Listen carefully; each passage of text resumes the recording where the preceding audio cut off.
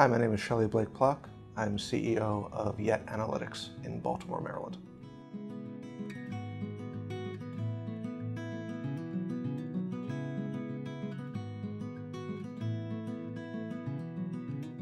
We're the way to help you to see and make decisions about the data of the people in your organization.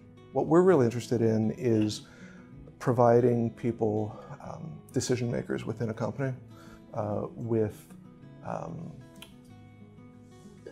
an ability to uh, see what traditionally is kind of non-intuitive data about what's going on in the company. If you ask most you know, managers, let alone executives, you know, what are your people actually doing? Like not just what are they reporting that they're doing, not, not what are you sort of getting a monthly or quarterly report on, but actually what's going on and what facets of company culture uh, can help you to understand your people better and use those people metrics to produce better business outcomes. We've seen interest from CIO's office, uh, definitely, because in the management of information and systems across the organization, they really want to be able to gather the pulse of everything, right, all together. Uh, we're living in a time where the speed of business has rapidly increased and the amount of data produced uh, is exponentially increasing. How do you give a CIO power to uh, understand what's going on in real time with people, with their systems throughout their organization? We started out with uh, some pilots. Uh, we've done pilots with um, HP.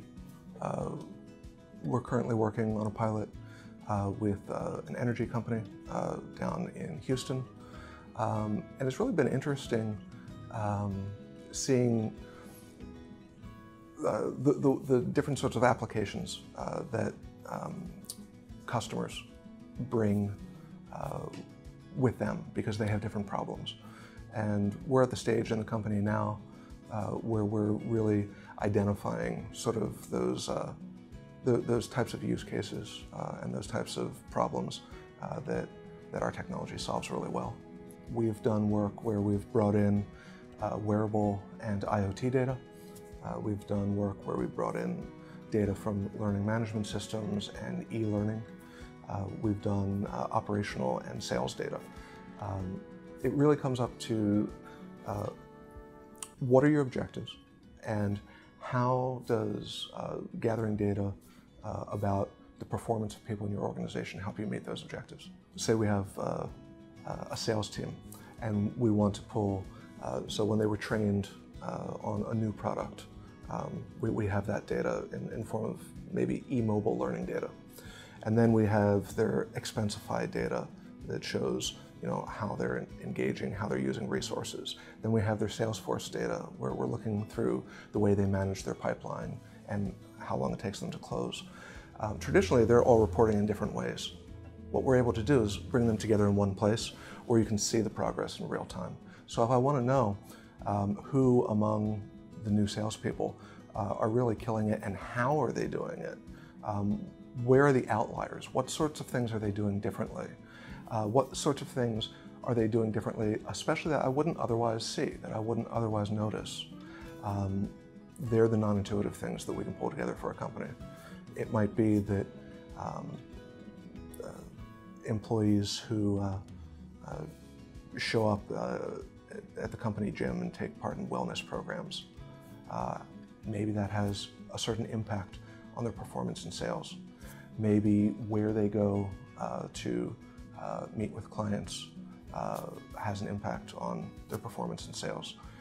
Maybe uh, the kind of content and subscriptions and industry research that they do has a specific sort of, and the ability to triangulate all of that together, that, that's, that's sort of unique. We've been choosing sort of very strategic uh, paid pilots uh, through the course of the last six months, where we not only uh, identify customer needs, but can really see if um, see how uh, we can build out new features, uh, new UI uh, to to help the types of people who use the stuff wherever they're coming from.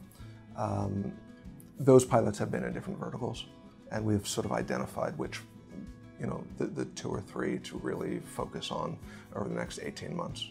We're interested in providing uh, an accessible platform, right, to allow analysts to do the type of statistical work that they want to do and to allow executives to have real instant visual um, information that they can make decisions.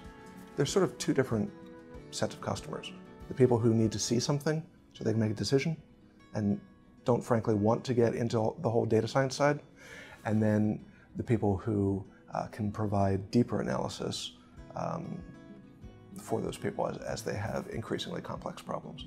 Having uh, algorithms which can uh, look at employee performance at both a global level and then right down to a micro level uh, provide an ability to give employees themselves much more empowerment as to the way that uh, they see their opportunities in an organization and then give management uh, much more power in terms of the ability to see the types of common pathways and uh, identify both talent and threat outliers through the, throughout the organization so you can make faster business decisions.